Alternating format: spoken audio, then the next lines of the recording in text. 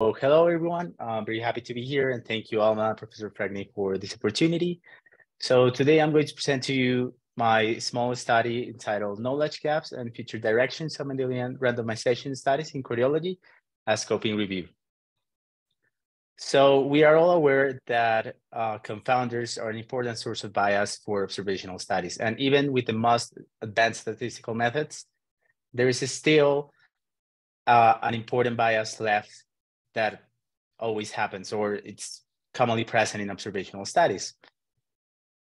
And unmeasured confounders especially can affect the outcome and they are not solved with most of the statistical methods that we use. And this is especially important in cardiovascular risk factors because they often have long-term effects. They are hard to characterize and require sometimes significant resources to analyze because they tend to be very long-term.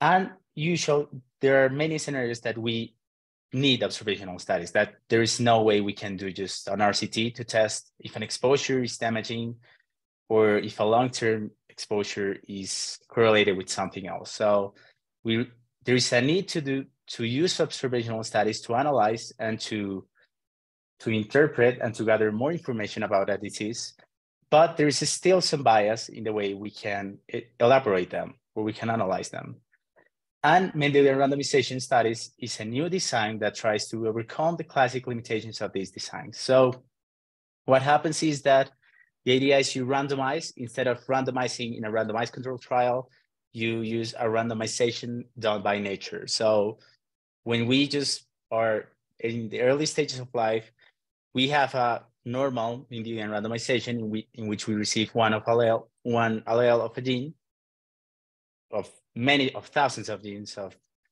and one set of people will also receive one different allele from that same gene. So we are just using the nature randomization instead of doing ours in a randomized control trial. And then just testing uh, what happens to the outcomes. So that's how we create two groups just by doing this randomization.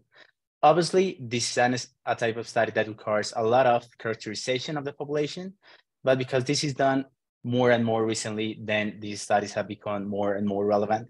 But we are not sure when, where we are standing in cardiology. So that's why that's the goal of the review because there have been no reviews assessing the current tendencies or the evidence is validated with this type of the study in cardiology.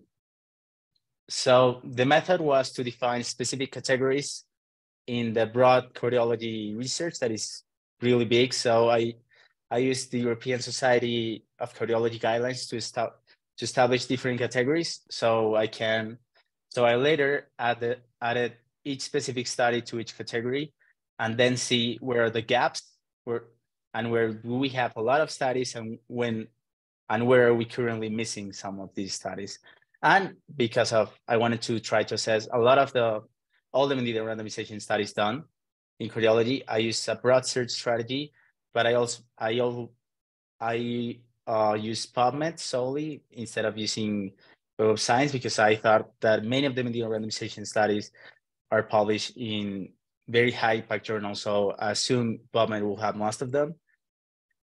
And later on, I register each study depending on the outcome or the intervention assessed with the Mendelian randomization. And finally, time filter, I apply time filters and review filters to just focus on the Mendelian randomization and lefting out other types of reviews or um, or articles that evaluated Mendelian randomization in other areas of medicine instead of cardiology.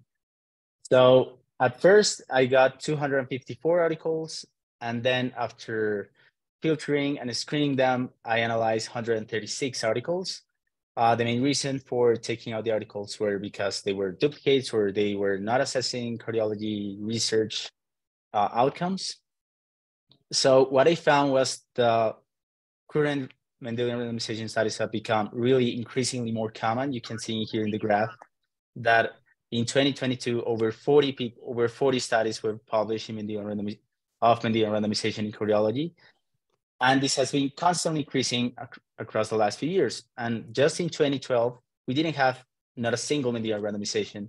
And in 2022, we have over 40 just in this year at the time I made the review. And of the different categories, the overall cardiovascular disease was the most studied one But also it was interesting that, for example, coronary disease and atrial fibrillation were one of the most studies, were one of the most studied categories and heart failure.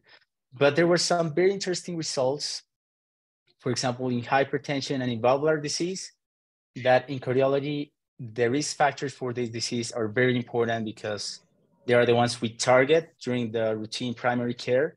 So validating these uh, these risk factors using Mendelian randomization studies will be really important. And in the future, there will be likely Mendelian randomization studies assessing uh, category, categories that don't even have one right now. For example, um, uh, pulmonary embolism, there are now being Mendelian randomization studies assessing the different alleles that could impact the disease that is very common and uh, pulmonary hypertension that is also being uh, constantly doing research. There has not been uh, doing MR studies recently, and we will likely see them in the future.